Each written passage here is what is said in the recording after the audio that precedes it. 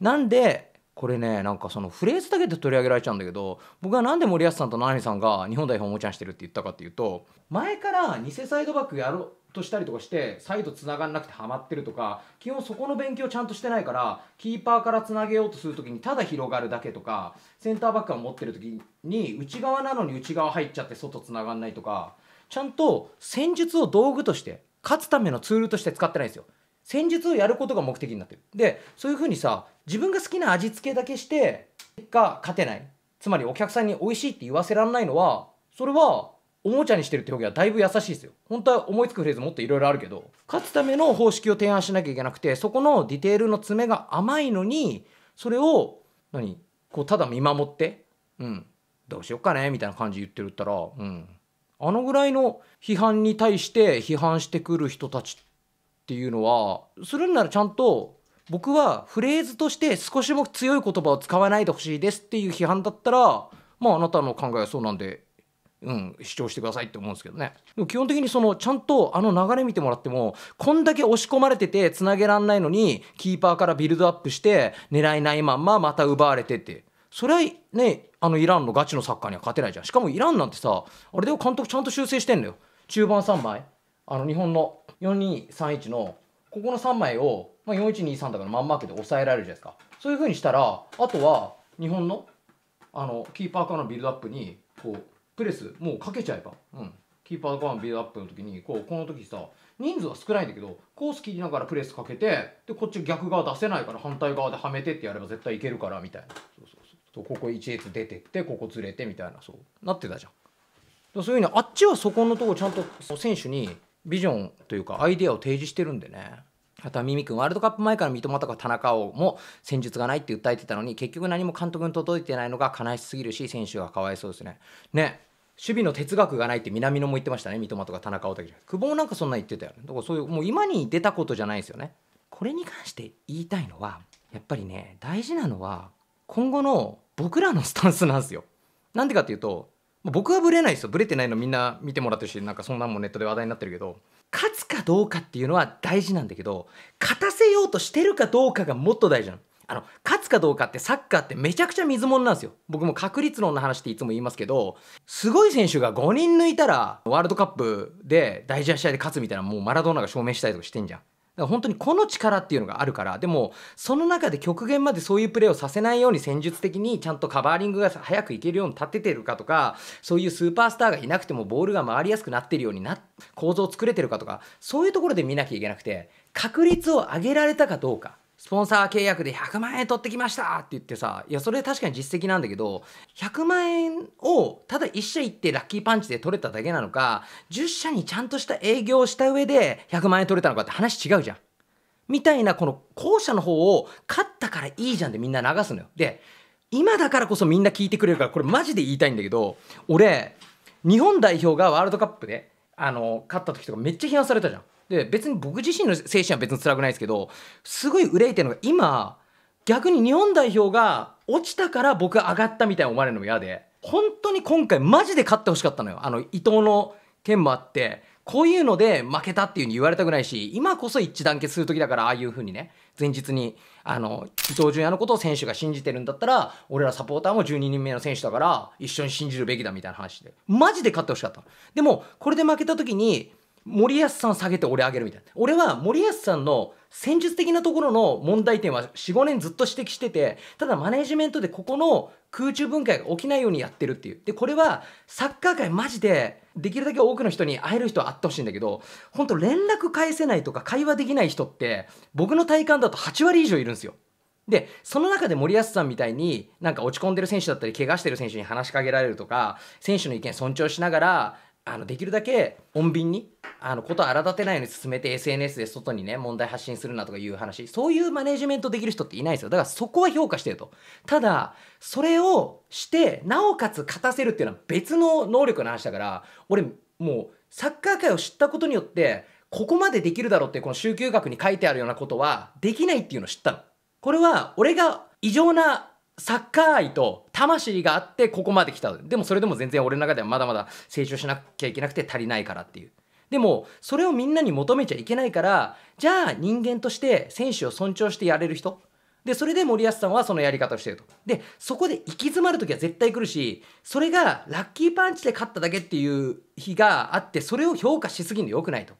だからこそ今みんなにもう今こそもう今度逆に森保さんが何かで結果出したり勝ったりとかした時に同じやり方です絶対。あの森保さんも田島さんも今23日経てばほとぼり冷めるって分かってるから。ここで減点しないことが大事でまたサポーターだから応援しようよってね、そういう今サッカーに熱持ってる人がもう熱持たなくなって結果同じようなただのイベントで繰り返すの知ってるから。だからこういう対応するのよ。だからみんなもこっから離れるのは分かる。もうずっとサッカー見てらんないし。なんだけど次戻ってきた時に今の気持ち忘れないでちゃんと家庭大事にした上でその結果を評価できてるかっていうのをみんな自身やってくれると思うんだけどそうじゃない人に勝てばいいじゃん側の人にいやこれずっと変わってないから本当に勝った時でもあのちゃんと水さしてほしいわ。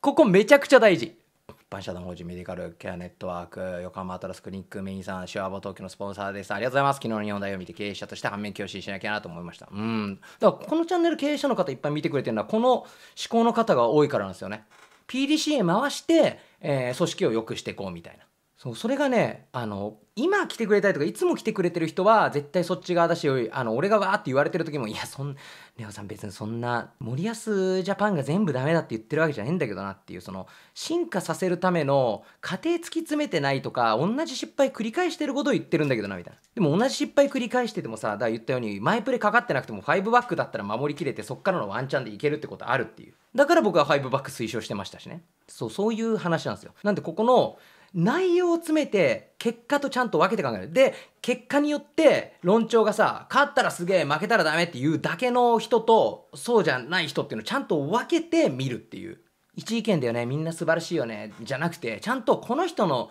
意見の質とこの人の意見の質っていうかちゃんとそこ人で見ていいと思います。これ肩書きじゃない。人よ。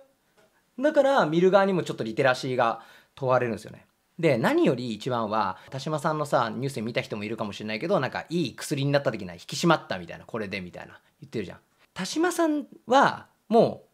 そういう人っす。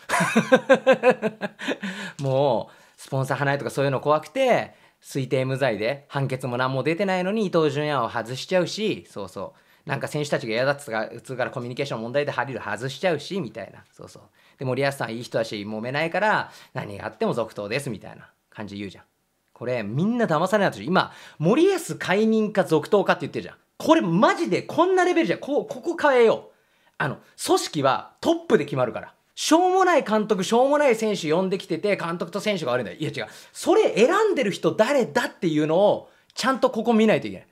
これほんとみんなでそこを信じあの気づいてほしい。なんでかっていうとこれ森保さんが続投するかどうかって正直そんな問題じゃない。なんでかっていうと森保さん以外が来ても最高点森保さんだから。残念な話だけど今日本で S q ライセンス持ってて J リーグである程度結果残してる監督っていうのはそういう普通の選手尊重しながら自由にやらせつつ戦術っぽいことやるっていう。だってちゃんと同サイド圧縮のプレスだったりとかビルドアップの時に低い位置でサイドバック張らせないみたいなのをちゃんとやれてる監督なんていないじゃん。だそういうことなんですよ。だからこそこれ何が必要かって俺言いたいのは今森保さんでやりながら同時進行で別のこと進めなきゃいけない。それは一つは海外の監督で金かかる人以外でちゃんと日本サッカー前に進められる人がいないのかっていうネクストオシムを探すのが重要なんですよまず。で分析官がいくら分析したって今回のあの代表戦みたいに分析なんか生かされないっていうの分かったじゃんみんな。それはもうわずっとそうじゃん。だこれが分析官悪いってまで言えないですよ。だってもし分析官が悪くてもそれ選んでるのも上だからね。だからじゃあ分析官の人たちのその力だったりサッカー見る力が本当にあるんだったらまず外のコーチで金かからなくて日本代表の監督になれる実力あるけど金かかんない人選ぼうと。オシムさんの場合はジェフの、えー、貝さんだっけ？が、えー、呼んできてからだけどそこをちゃんともう日本代表に割くリソースを外の監督で呼んでくれる人まずこれがすぐできる提案ね。でもう一つなんだけどこれ田島さんなんでいけないかっていうとその日本代表の椅子を争う、えー、ピラミッドの構造を作ってないんですよ。M 1 1回戦までしか行けてない2回戦までしか行けてない人がレギュラー番組もらってるみたいなのが今の日本代表でちゃんと決勝行った人の面白い人の中からレギュラー番組与えましょうよとかちゃんといい番組作った人とか、えー、当たるこ、あのー、企画を、えー、出せる人そういう人たちでチーム組んで大河ドラマやらせましょうよってしなきゃいけないでもそうじゃなくて今 S 級は元選手だと優遇されて取れてとかそれ取るために、え、めちゃくちゃ金が必要でしかも現場で指導してると土日の指導があるから現場行けないオンラインでも受け入れないみたいな。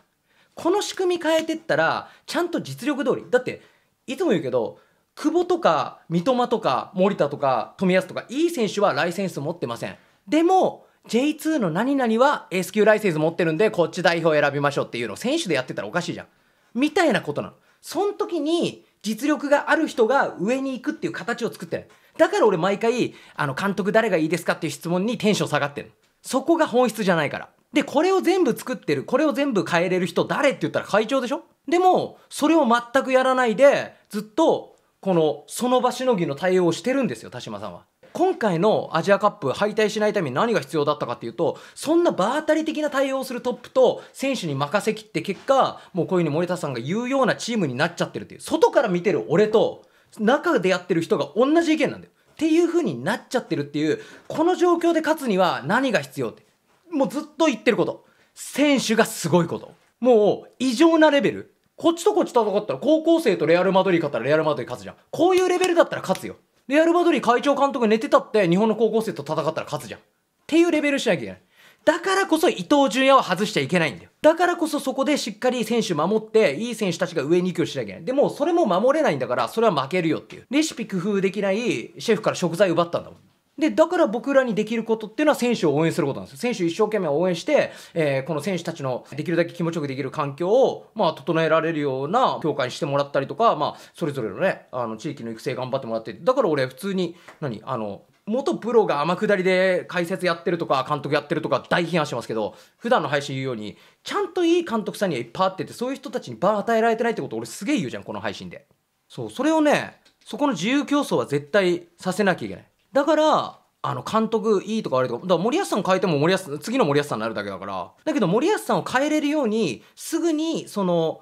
指導者ライセンスのシステムとか全部変えれるわけじゃないの知ってるから分析官たちの力を使って外のいい監督探していく。でその時に技術委員長の力スポーツディレクターの力が必要になるんですよ。スポーツディレクターって監督解任された時にそこで監督やる用のあれですからネクストバッターズサークルみたいなことではないですからね。そうだからもう本当みんなに伝えたかったのは今後日本がただ選手の質で勝つ試合とかそういうのあるからだってこれでまたねワールドカップ来てなんかワンチャン勝ったりしたら今度レオザブーみたいなさいやもうずっと同じこと言ってるのにその時の日和見で言われたらきついし何より俺がきついうんぬんじゃなくて日本サッカーが成長しないから。そうだからそういう人たちが来た時にいやこうそういうことじゃないんだよっていう力が俺らには必要。な一つ。でもう一つは組織っていうのは絶対にトップ。トップが人を集めてそれによって全部変わっていくわけだから。この2つですね。これはもう日本サッカー協会にも向けてるし自分自身にも。でサッカー好きな人たちもねその自分自身の中の一人であってほしいっていうふうに皆さんに思いますね。私レオザフットボールが監督を務めるシュアーボ東京では毎週水曜金曜19時間の練習でセレクションを開催しております。場所は都内近郊シュアボ東京で25万人以上に見られながら報酬をもらって本気でサッカーしませんか？多くの関係者が見るチャンネルですし、シュアボから J リーガー輩出を目指す僕らとしては、ステップアップも大歓迎です。概要欄の URL からのご応募、お待ちしております。